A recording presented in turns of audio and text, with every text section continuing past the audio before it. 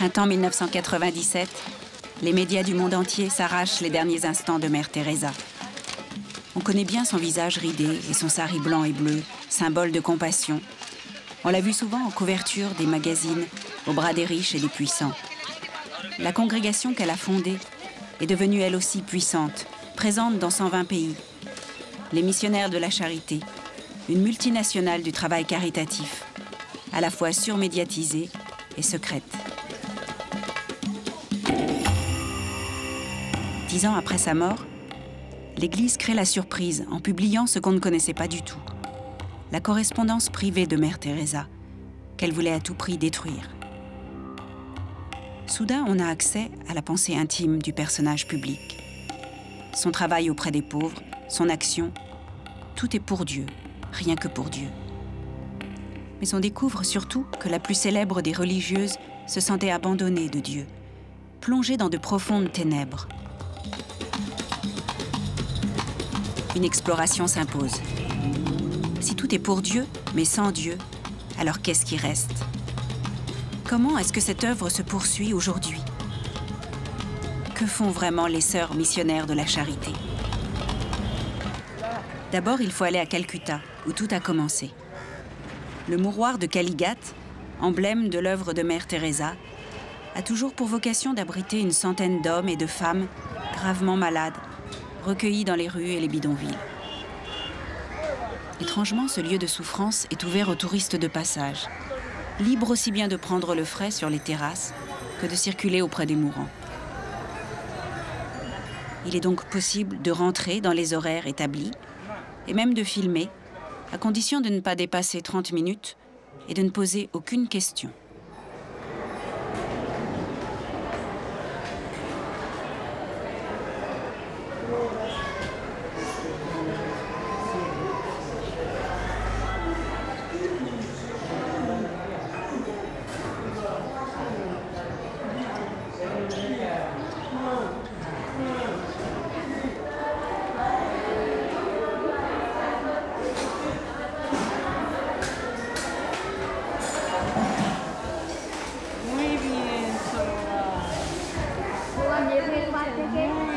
Puisqu'il est interdit de questionner les sœurs, nous allons à la rencontre des volontaires.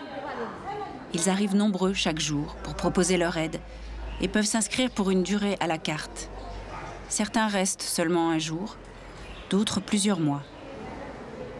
Bien qu'ils participent aux soins, on ne leur demande aucune compétence particulière.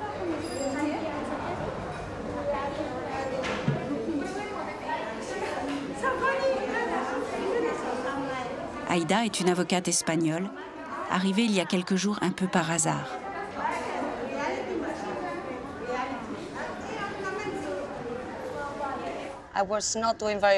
C'était un moment de ma vie où j'allais pas très bien, j'étais très déprimée. Et je crois que j'avais vraiment touché le fond. Quand j'allais mal, la seule chose qui me faisait du bien, c'était de me dire que je pouvais faire quelque chose comme ça. Aider les gens. Aujourd'hui, c'était un des matins les plus durs. En arrivant, il fallait les accompagner au bain et j'ai dû porter beaucoup de dames jusqu'au bain. Elles sont très lourdes et pas très coopératives parce que la plupart ne voulaient pas prendre de bain. Mon dos me fait très mal et euh, les porter, les emmener là-bas, il n'y a pas un instant de répit. Il y en avait qui pleuraient, d'autres qui criaient. C'était très très dur. was very, very hard.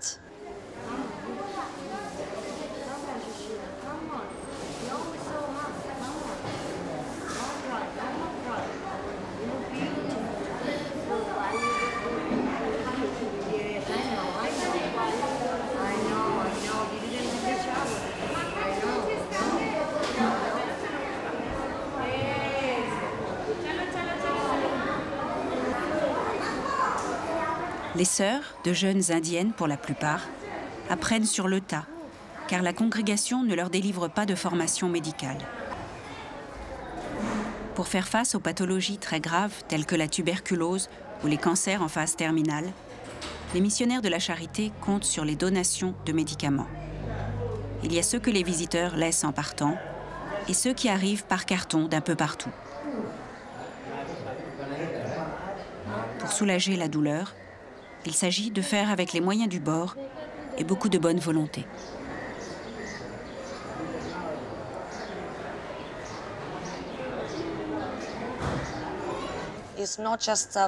C'est pas seulement très dur physiquement, c'est aussi très dur au niveau des émotions. Parce que c'est une expérience très intense de voir des gens souffrir, de voir des gens avec des plaies horribles. Il y a quelqu'un qui a la moitié du crâne ouvert. C'est vraiment très dur à supporter. Parce qu'ils pleurent et ça me touche vraiment beaucoup.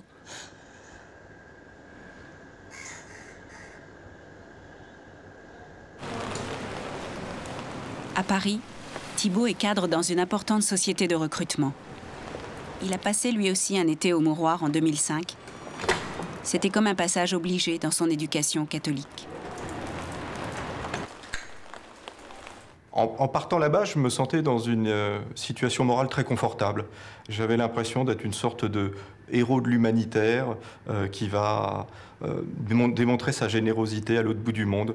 Euh, j'étais, je pensais à cette époque un peu à Bernard Kouchner débarquant sur les côtes somaliennes avec un sac de riz sur l'épaule. c'était, quelque chose d'assez narcissique, d'assez confortable. D'ailleurs, dans mon entourage, tout le monde me disait Ah, c'est magnifique ce que tu vas faire, oh bravo, j'aimerais faire ça aussi. Et finalement, j'en étais. Bah, j'étais assez satisfait de ça. C'était une image de moi-même qui, me plaisait. Le premier jour, en arrivant au Mouroir, ce qui m'a frappé, euh, c'était euh, l'extrême vétusté des, infrastructures. C'est-à-dire que ça ne ressemblait pas du tout à un hôpital. C'était une sorte de grande salle commune avec euh, des lits des grabats alignés les uns à côté des autres, et puis avec des personnes mourantes dessus. un niveau d'hygiène qui était très très élémentaire. Euh, au niveau médical, c'était plus que, plus que succinct, puisqu'il y avait qu'un médecin qui venait une fois par semaine. Et encore, c'était un médecin qui était, euh, qui était brahman, hein, qui était euh, hindou. Et comme il était brahman, il s'interdisait de toucher aux personnes qui étaient là sur place. Donc pour les diagnostics, ce n'était pas, pas vraiment évident. Pourquoi cette institution ne fait-elle pas davantage appel à des médecins? Arrivé en Inde dans les années 50, le docteur Jack Prager a travaillé avec Mère Teresa avant de créer sa propre ONG à Calcutta. Mon travail était très semblable à celui des sœurs et des frères de Mère Teresa, et j'ai collaboré avec eux au Bangladesh et à Ora, près de Calcutta. Um, j'ai même essayé de travailler avec eux à plein temps, mais c'était impossible, enfin j'ai trouvé. Mais leur méthode était inacceptable pour moi. Leur façon de mélanger les différentes catégories de patients, de telle sorte que les tuberculeux transmettaient leur maladie aux autres, le niveau de soins n'était pas acceptable.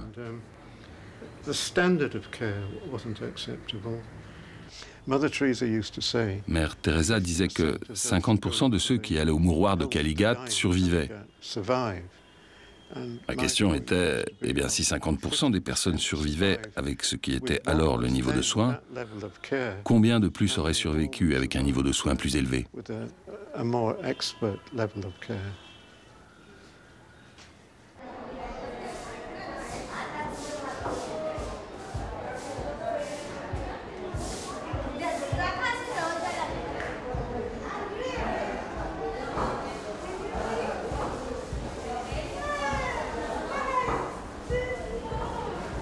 En langage moderne et séculier, on pourrait dire qu'il s'agit ici de pratiquer des soins palliatifs.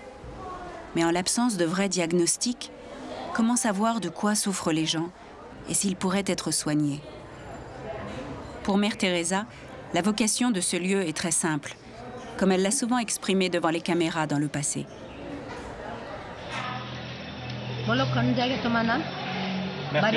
est-ce que cette femme va mourir?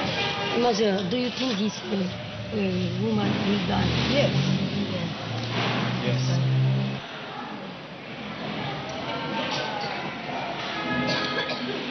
Pourquoi avez-vous créé ce mouroir ici What? à Calcutta?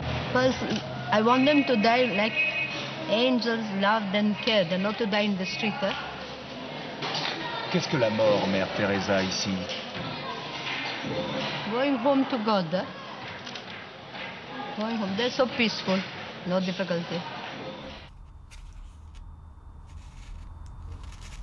Volontaire en 2002, Marie-Pierre est juriste dans un grand groupe et intensément croyante. Comme en écho à la volonté de Mère Teresa, elle a aidé une jeune fille à rejoindre Dieu et en est sortie transformée.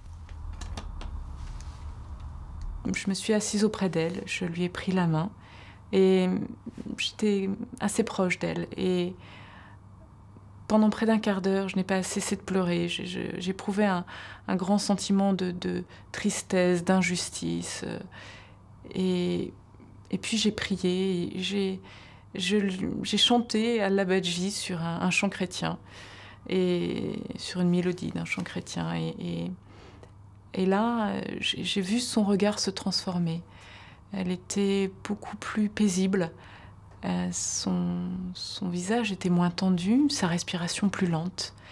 Et moi-même, je me sentais comme euh, le cœur dilaté. Je, me sentais dépouillée de, toutes mes chaînes, de, mon ego. Je me sentais pleinement présente et habitée. Et je réalisais alors les paroles de Saint Paul, ce n'est plus moi qui vis, c'est le Christ qui vit en moi. Et je, l'ai accompagnée pendant quelque temps comme ça. Et puis à un moment donné, elle a cligné des yeux quand je lui ai plus je lui répétais à la badji. Et là, je me suis, euh, on se comprend. Et puis, à un moment donné, je croyais que c'était son dernier souffle et, et non, là, elle m'a souri. Et ça a été un cadeau fabuleux. Et quelque temps après, ce fut son dernier souffle. Et à cet instant même, j'ai ressenti un bonheur d'une très grande intensité avec elle.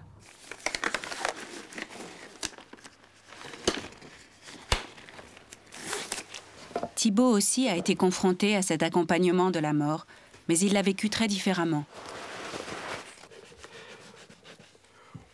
Il y avait des patients de tous les âges. Hein. Et parfois, il y, avait, il y avait aussi des enfants. Et je me souviens d'un enfant qui était arrivé là, euh, qui toussait beaucoup. Il était tuberculeux. Alors, tuberculose, ça soigne. Hein, euh, il, y a des, médicaments hein, pour ça. Et, euh... et alors, j'en avais parlé avec une sœur, hein, une sœur qui faisait fonction d'infirmière. Et puis, elle m'avait dit bah lui, non, il, est trop, malade, il, est trop atteint, donc on ne va pas essayer de, lui administrer des médicaments. On va pas essayer de le sauver parce qu'il euh, y a peu de chances pour que ça marche.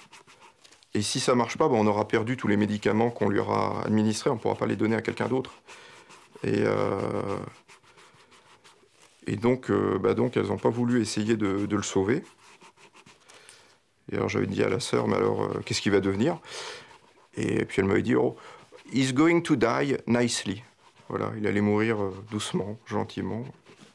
Moi, je trouvais ça assez révoltant, hein, parce que c'était un enfant. Il y avait une chance pour qu'on puisse le sauver. Mon réflexe aurait été de tenter le tout pour le tout. Voilà, l'idée, c'était que il fallait permettre aux gens de mourir dignement, euh, et que de toute façon, après la mort, il y a quelque chose. Donc, que cet enfant meure ici et maintenant, ou qu'il meurt euh, après avoir survécu à la tuberculose, tuberculose dans 60 ans, bah finalement, c'était pas, c'était pas très important. Voilà. Alors, qu'est-ce qui était le plus important?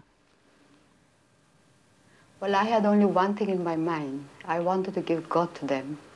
I was drawn to the people because I wanted to give, to bring them to God and to give God to them. I didn't mind who they were. But uh, the slums were the places where I knew Christ had not walked. And I wanted to go there and bring him there.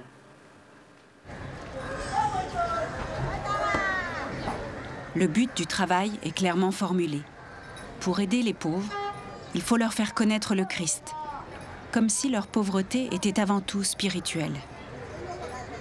Mais est-ce de Dieu dont les pauvres en Inde ont besoin? Pour bien comprendre la pensée de Mère Teresa, sa vision du monde, il faut se plonger dans ses écrits intimes. Sa détermination de missionnaire y est omniprésente, comme dans cet extrait de lettres. Ils sont des millions dans les villes et villages indiens qui vivent dans l'ignorance de Dieu et du Christ, dans un abominable état de péché. Nous les amènerons au Christ. Pour que je puisse accomplir ce genre de travail, une vie de prière et d'abnégation est nécessaire. Pour approcher les plus pauvres d'entre les pauvres, il faut devenir semblable à eux.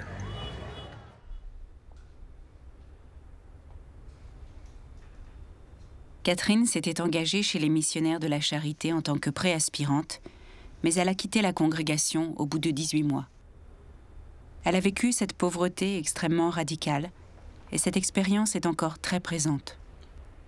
Je confesse à Dieu Tout-Puissant, je reconnais devant mes frères que j'ai péché en pensée, en parole, par action et par omission. Oui, j'ai vraiment péché. C'est pourquoi je supplie la Vierge Marie, les anges et tous les saints, et vous aussi mes frères, de prier pour moi le Seigneur notre Dieu.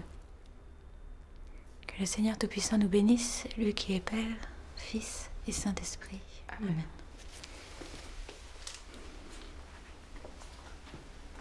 C'est dans cette pauvreté, dans cette nudité que je, que je rejoins mon frère qui est pauvre, qui est seul, qui est souffrant. Je ne le rejoins pas en me, en me, penchant de ma hauteur pour lui dire Viens, mon frère, que je vais sauver. Je le rejoins en lui disant bah, Écoute, moi, enfin, pas en lui disant, mais en le vivant, moi, euh, j'étais tout en bas, j'étais au fond du gouffre, j'étais là. Dieu m'a pris par la main, il m'a relevé, il m'a montré son visage et son amour, et c'est ce visage et cet amour qui, qui sont aujourd'hui ma raison de vivre, qui sont mon bonheur. Et la plus belle chose qui pourrait arriver à toi, c'est de rencontrer le même, le même euh, visage de Dieu sur toi. On ne le dit pas avec des mots euh, aussi catégorisés, mais c'est vraiment la manière d'approcher la personne pauvre. Résultat, cette compassion, elle va après passer par des actes euh, concrets qui vont être le fait de servir des repas, qui vont être le fait de de faire des, enfin, pour moi, par exemple, ça aurait été aussi de, de faire des pansements à, à, des gars qui avaient besoin de pansements. voilà. Et c'est-à-dire que d'un côté, je vais mettre tout mon cœur à faire ce que je fais le mieux possible. Et d'un autre côté, je vais garder à l'esprit que ce qui compte, le bonheur de ce gars-là, ça va pas être d'avoir un pansement nickel, ça va pas être d'avoir une plaie toute bien cicatrisée. Certes, c'est un petit plus dans sa vie, certes, c'est quelque chose de bien, mais c'est pas le bonheur. Le bonheur, c'est de se savoir aimer. Le bonheur, c'est de savoir qu'on est aimé, quoi qu'on fasse, quoi qu'on, quelle qu'ait été sa vie, quelle, quelle que soit sa vie maintenant, là où il est, Dieu le rejoint et Dieu l'aime. Et moi, je serai jamais que l'instrument de cet amour qui, euh, par une personne physique, va lui faire sentir qu'il est aimé, qu'il est important, qu'il compte. Mais au-delà de moi, c'est l'amour de Dieu euh, que j'aimerais faire transparaître, que j'aimerais lui porter.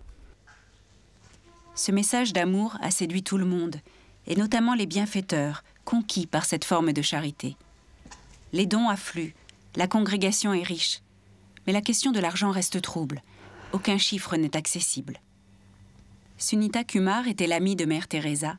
Elle est même devenue le porte-parole officiel des missionnaires de la charité. Les dons arrivent. Comme Dieu, enfin, comme Mère avait l'habitude de le dire, il s'en occupe. Vous savez, la manière qu'elle avait de pointer le doigt vers le ciel. Et les dons viennent. L'aspect financier, je me demande si ce n'est pas un petit peu tabou. Un peu quoi? Est-ce que c'est tabou de parler de ça ou c'est possible? Non, non, c'est une question très simple. Et si vous me la posez, je vous dirais que c'est très transparent. Le travail, tout le reste, tout est visible. Demain, si vous allez à Kalighat et que vous voulez donner 50 dollars pour que les pensionnaires aient un bon dessert, les sœurs iront acheter des sucreries qu'on ne leur donne pas d'habitude.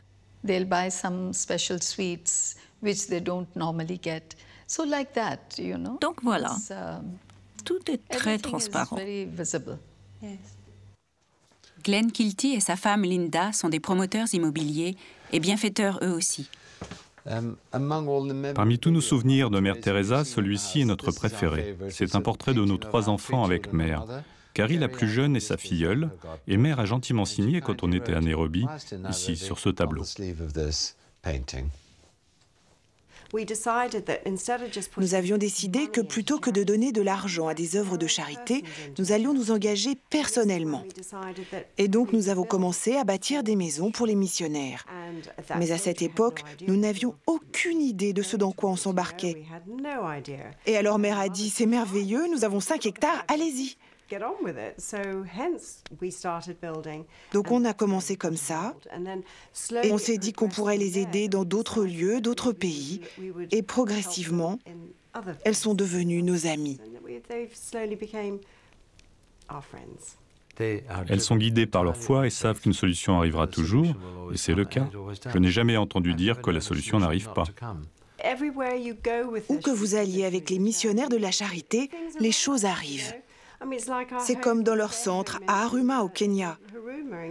Ils ont besoin de nourriture. Des camions remplis de légumes, de pommes de terre et de riz arrivent devant leur porte.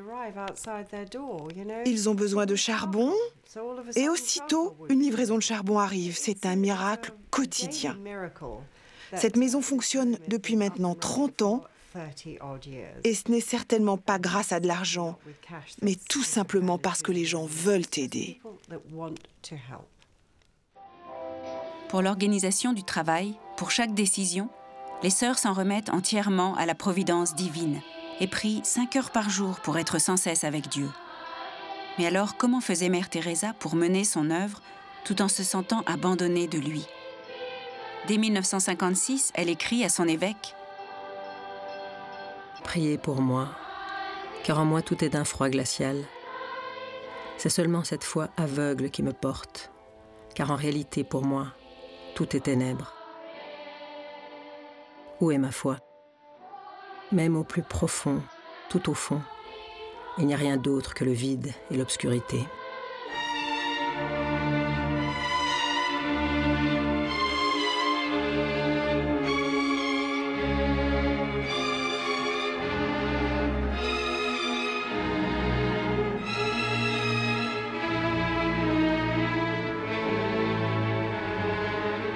Dans les ténèbres, comment retrouver Dieu si ce n'est en lui offrant toujours plus d'âmes et en multipliant les missions aux quatre coins du monde? Pour étancher la soif de Jésus, comme elle aimait le dire, Mère Teresa se lance dans une sorte de course aux âmes. Son combat contre l'avortement n'est-il pas le plus bel exemple de cette volonté de sauver toujours plus d'âmes? The greatest destroyer of peace today is the cry of the innocent, unborn child. For if a mother can murder her own child in her own womb, what is left for you and for me to kill each other? À Calcutta, le père jésuite Gaston Roberge, un proche de Mère Teresa, se souvient de ce discours. Dans ces mots très durs, il ne voit pas de compassion pour les femmes contraintes à avorter, mais un jugement moral. Par exemple, je suis mal à l'aise avec le, passage où elle dit, je ne me souviens plus dans lequel de, de, ces, de ces conférences où elle en a fait tellement sur ce sujet, que l'avortement fait de la mère une meurtrière. Pour moi, ça ne correspond pas tout à fait au fait, parce que euh, dans notre milieu, par exemple en Inde, il y a beaucoup de mamans qui sont terrifiées par l'idée, qui voudraient que, l'enfant naisse et vive, mais c'est la famille qui l'impose. Et que si elle ne, ne, joue pas le jeu, elle, elle peut être expulsée. Donc, c'est pas, elle n'est pas meurtrière du tout en esprit. Cette véritable croisade contre l'avortement cache un autre combat, celui contre la contraception. Dans un contexte de surpopulation, comme en Inde, cette posture radicale implique de recueillir toujours plus d'enfants abandonnés.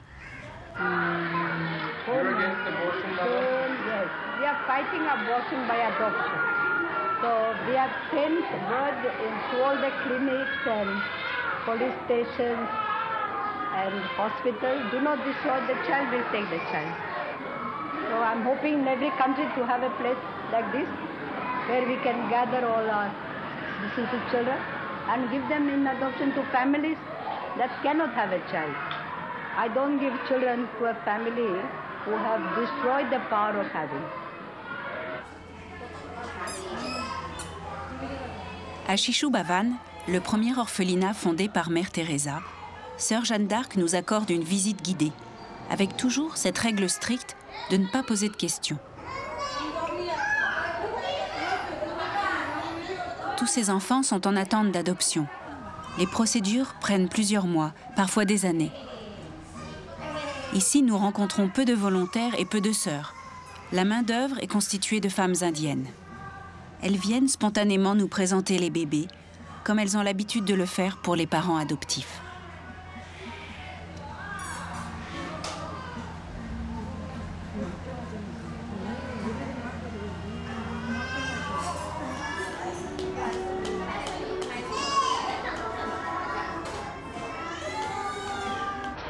Celui-ci est un beau bébé. Mais il partira aussi. Il n'y a aucun mal pour le donner, n'importe quelle famille le voudra. Pour vous Oui, c'est un garçon. Je garde les cheveux longs, il faut qu'il soit à la mode un peu. Hmm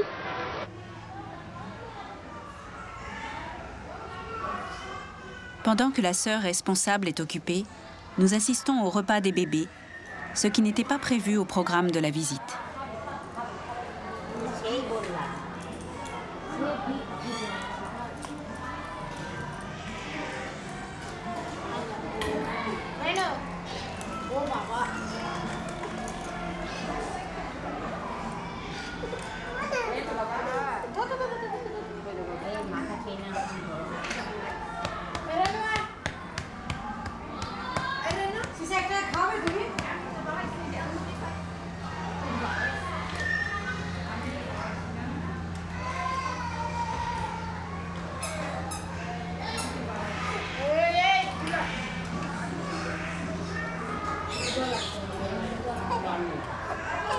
করলো এমনি ছেলেটা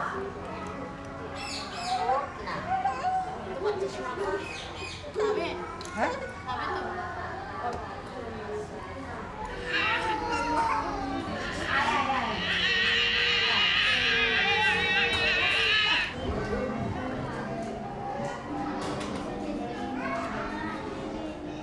Dans l'attente de parents pour les enfants, les sœurs prennent en charge leur éducation.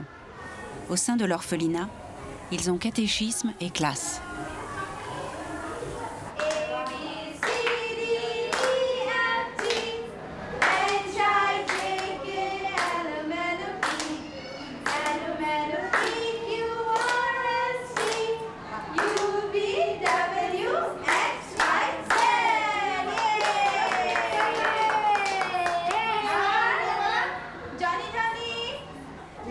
Tout près de là, le docteur Préguer, lui aussi, a mis en place plusieurs écoles avec des dispensaires intégrés pour les orphelins et les enfants des bidonvilles. Les programmes de Calcutta Rescue donnent la priorité à la prévention et à l'éducation sur le long terme.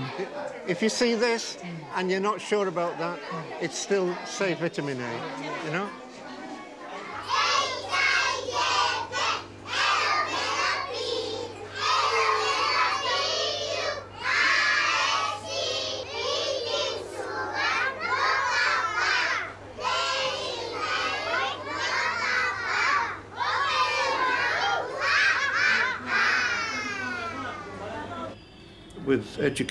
Pour l'éducation, nous essayons de déterminer quels enfants peuvent bénéficier de quel type d'éducation, plutôt que de tous les mettre ensemble et les rejeter ensuite dans le monde pour devenir des travailleurs non qualifiés et faire des petits boulots comme vendeurs de thé. Computer? Is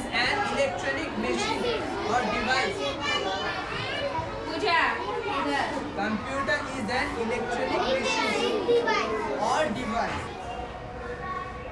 À l'orphelinat de Mère Teresa Chichou Bavan, une salle est réservée aux enfants handicapés.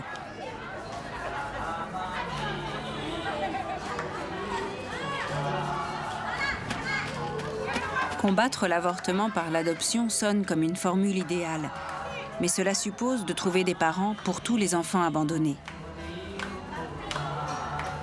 Dans la réalité, beaucoup d'orphelins attendent longtemps et grandissent dans les centres.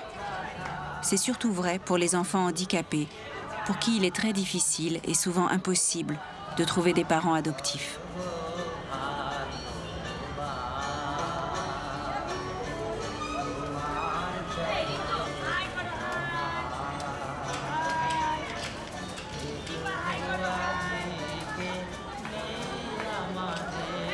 Aïda vient ici tous les jours, après ses matinées au mouroir de Caligat. Et cet après-midi lui a semblé différent des autres. Tous les enfants étaient habillés en robes, des robes oranges, tous. Et j'ai demandé pourquoi, j'ai pensé que peut-être il y avait une fête nationale, mais les sœurs ont dit non, nous avons de la visite. J'ai dit ok, et là je vous ai vu. Je me suis dit que c'était ça la visite. Sans doute qu'elle voulait que les enfants soient tout beaux pour des étrangers parce qu'ils viennent avec une caméra et le monde entier va les regarder. Elle voulait qu'ils soient mignons et elles ont réussi parce qu'ils étaient vraiment mignons.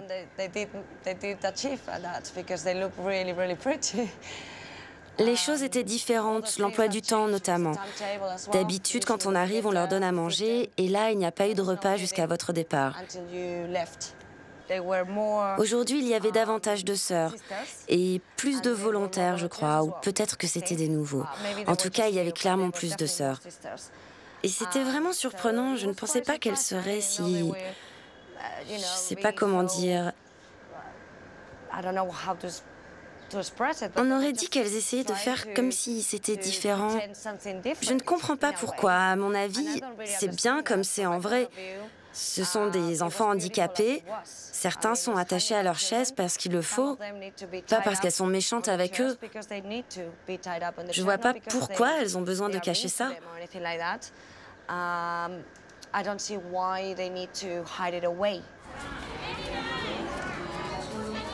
Pourquoi ne pas nous montrer le vrai quotidien quand tout est censé être visible et rempli d'amour? Les enfants habituellement passent beaucoup de temps attachés, mais n'y a-t-il pas les moyens de payer davantage de personnel? En 1979, Mère Teresa avait été interrogée sur la prise en charge de ses enfants.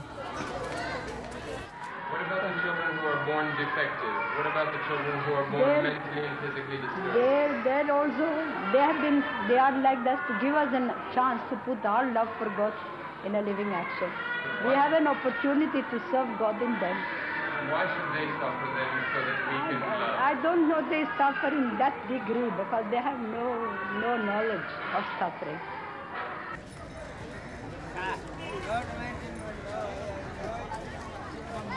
Comment Mère Teresa percevait-elle la souffrance à laquelle le travail la confrontait chaque jour? Ce mot revient sans cesse dans ses lettres. En 1976, elle écrit à une amie très malade. La souffrance, la douleur, l'échec sont tout simplement un baiser de Jésus, un signe que vous êtes arrivé si près de Jésus sur la croix qu'il peut vous embrasser. Soyons donc heureux lorsque Jésus s'abaisse pour nous embrasser. Et un peu plus loin, Mère Teresa écrit cette phrase très étrange. Les pauvres sont amers et ils souffrent, parce qu'ils n'ont pas le bonheur que la pauvreté devrait apporter si elle était endurée pour le Christ.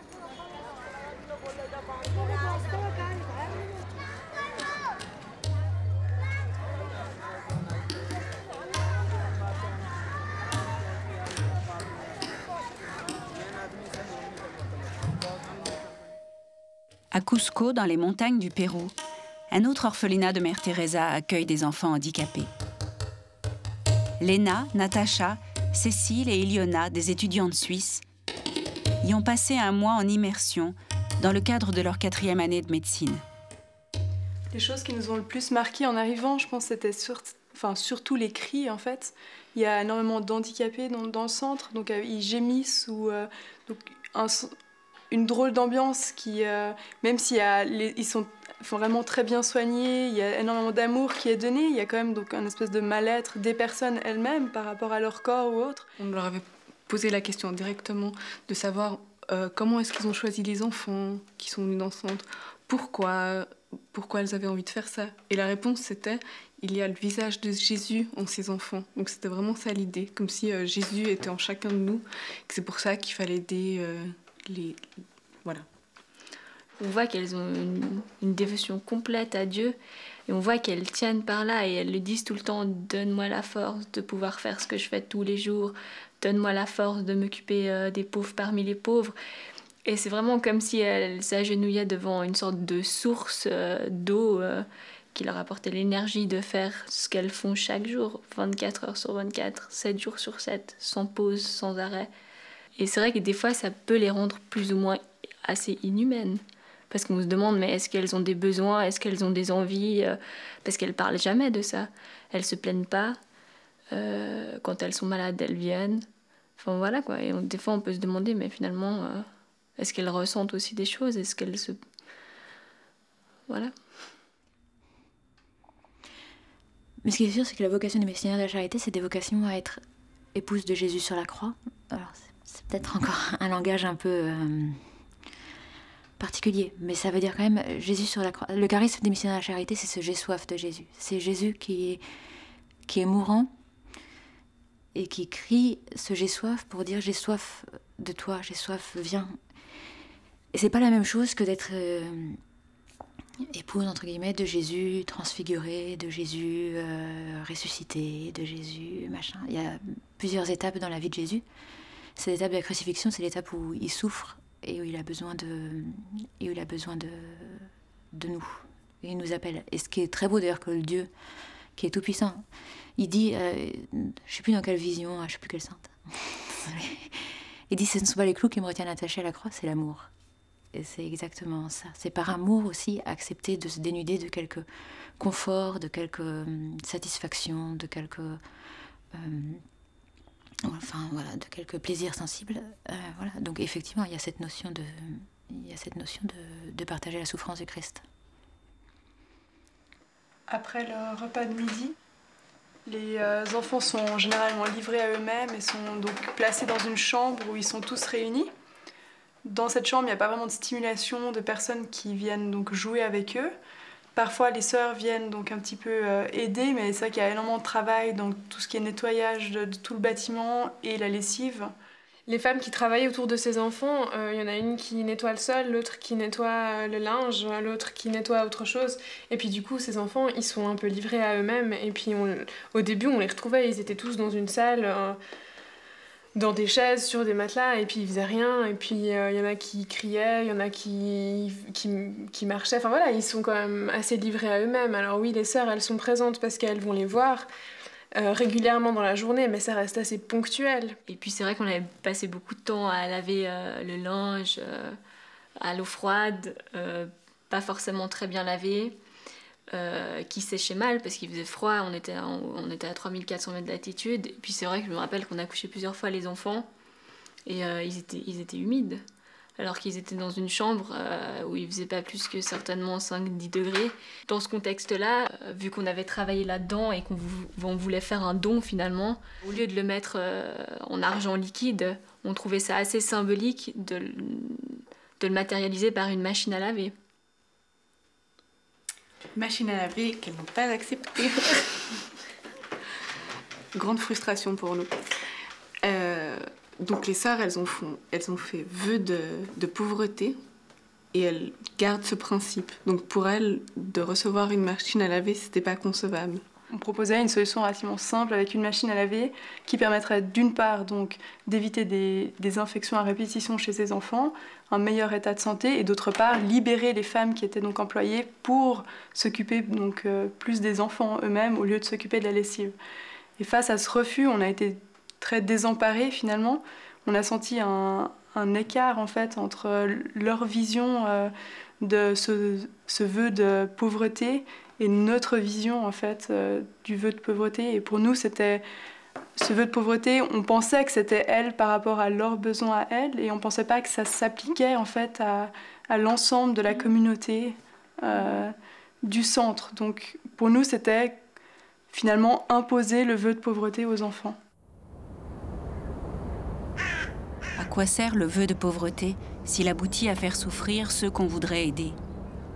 Pour les sœurs, servir Dieu donne sens à tout ce qu'elles font, au risque de s'éloigner de la réalité et des hommes. Et Mère Teresa va plus loin. Sans Dieu, son travail n'a plus de sens, comme elle le confie au Père Picacci. On dit que les gens en enfer souffrent une peine éternelle à cause de la perte de Dieu. Dans mon esprit, je ressens exactement cette peine de la perte, de Dieu qui ne veut pas de moi, de Dieu qui n'est pas Dieu, de Dieu qui n'existe pas réellement. Pourquoi travailler dur? S'il n'y a pas de Dieu, il ne peut y avoir d'âme. S'il n'y a pas d'âme, alors Jésus, vous non plus, vous n'êtes pas vrai. Le ciel, quel vide.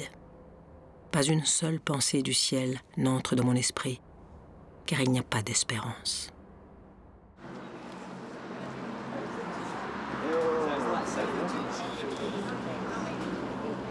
Loin de l'Inde ou du Pérou, dans les pays riches, le travail obéit aux mêmes règles immuables, même s'il prend une forme différente. À Londres, l'action des missionnaires de la charité vient en complément des services sociaux et se concentre sur un hébergement ponctuel et la distribution de repas. We thank you, thank you, volunteers. We thank you, thank you, volunteers. We thank you, thank you, volunteers from our We thank you, thank you, volunteers. Tous les vendredis soirs, les sœurs font leur tournée pour distribuer de la soupe et des sandwichs. Ici comme ailleurs, Dieu est le premier servi. Okay, now, no. Okay. Okay. Please, Mike. All right. No. Uh, uh, if, if, excuse me. Eh, excuse me, don't start. Don't start, please. Don't start. Yes. Come, please. We'll pray. Uh, hello? Excuse me. We'll pray first, please.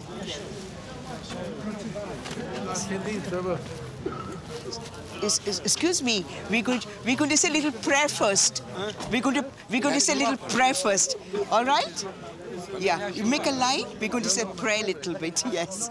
Ale, ale, ale, Ale, ale, ale, Ale, ale, alleluia.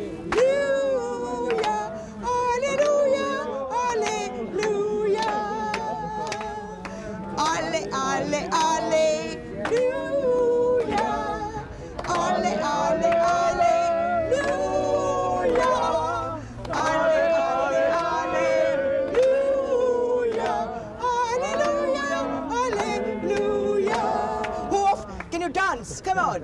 Ale, ale, alleluia. Dear Lord, we thank and praise you for this beautiful evening. We thank and praise you for these your children. We ask you, Lord, to, to keep them under your loving care. Good evening, and have a nice hot soup and tea and sandwich. Yes? Yeah, wonderful, wonderful,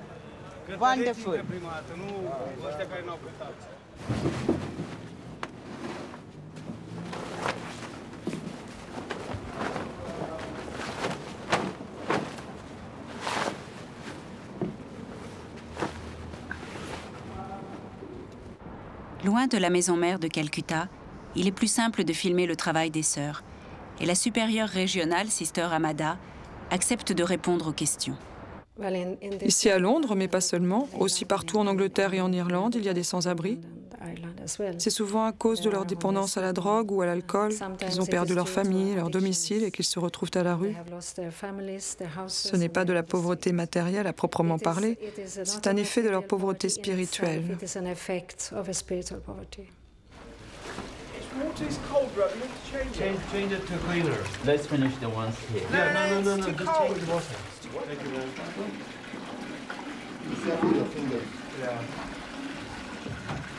Ce foyer abrite des demandeurs d'asile, à condition qu'il n'ait pas de problème d'addiction.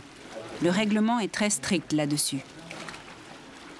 Mais les gens alcooliques ou toxicomanes ne font-ils pas partie justement de ceux qui ont besoin d'être aidés, de ceux que les sœurs appellent les plus pauvres d'entre les pauvres?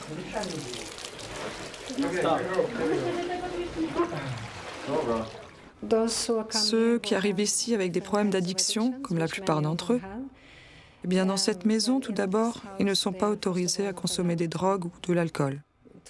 Donc on essaye de parler avec eux, on prie avec eux, et on prie pour eux, bien sûr.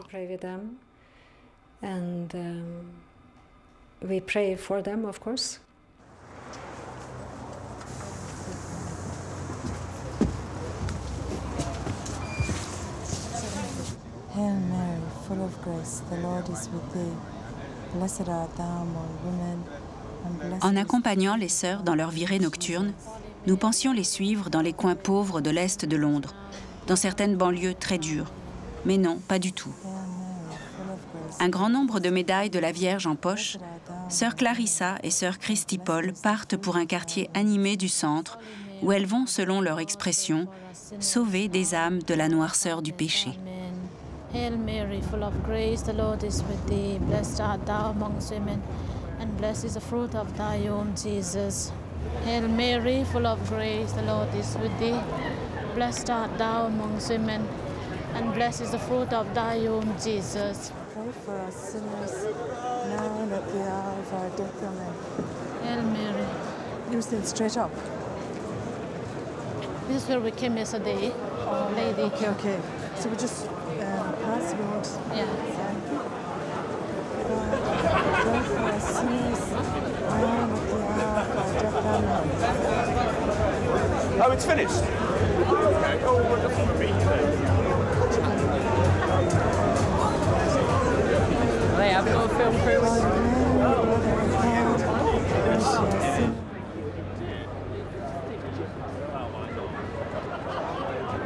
What are you doing here? You're walking. See what's going on. Yeah, it's interesting, isn't it? Huh? It's interesting. It's interesting. Sort of. What's going on? Not, not that I expected, you know. Yeah. What do you expect? Well, more lively, nice, you know. Lively. More lively. More lively. Yeah. Anyway, I think the most important thing is no matter what we have. Even if we don't have anything, the most important thing is that God loves us so much. You believe that, don't you? Oh, yeah. Yeah, you have boyfriend, yeah. Let me put this on your neck. Okay. Mary, Mother of Jesus, be a mother to you. Okay, let her go with you wherever you go. Okay? Let her go with you wherever you go. Mary, Mother of Jesus, be a mother to you. This is a beautiful magazine for young people like you. Okay? Jesus, I trust in you. Repeat that, okay? Thank you. And then here is Mother Teresa. Thank you. God bless you. And you say prayer for me, okay? And God bless you. And what about you, my friend? Come here. Let me put on your neck. Let me have the honor of putting it on your neck. Mary, Mother of Jesus, be a mother to you now. Remember, He loves you, okay? Okay, thank God you. bless you. You know, the Muslim people they believe in Mary. I believe in Mary. The, the mother. Yeah, so the let's mother, oh my God. mother, mother of the prophet. Brian. Okay? What is this for? This is for This turns gift. Uh, no luck. This is blessing. Blessing what? Blessing of Blessed Virgin Mary. Put on your neck. We're blessed Haiti. That's who needs to bless Haiti at the moment. Yeah. No one else. Okay. Bless his girlfriend. God bless you. Hello. God bless you. Okay. We're Yeah. not blessed Haiti. No one else. Don't think about yourself at the moment. Yeah, sure, that's true. You're very right. Think You're about very Haiti. right. No one else. I know, I know. Every, hey, listen, everyone is a child of God. We are. We are children of God, and God loves us. So I just looked like a miniature And- Teresa, and she went, Christ, And what? your life. and what?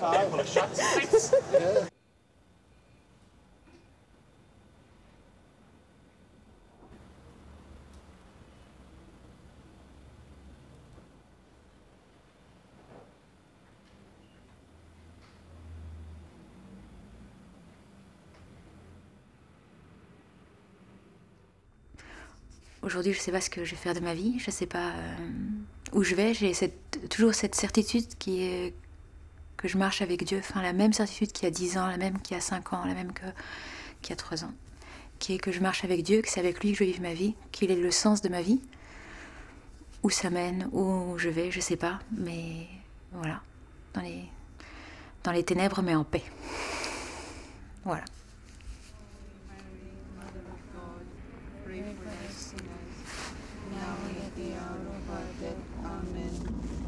Je veux devenir sainte en apaisant la soif d'amour et d'âme de Jésus. Il y a un autre grand désir, donner à notre mère l'Église beaucoup de saintes issues de notre congrégation. Ces deux choses sont la seule intention pour laquelle je prie, travaille et souffre. Mère Teresa a rencontré un succès planétaire en servant Dieu à travers les pauvres, quel qu'en soit le prix. Et son œuvre continue. Dans ses traces, des milliers de sœurs prient, travaillent et souffrent.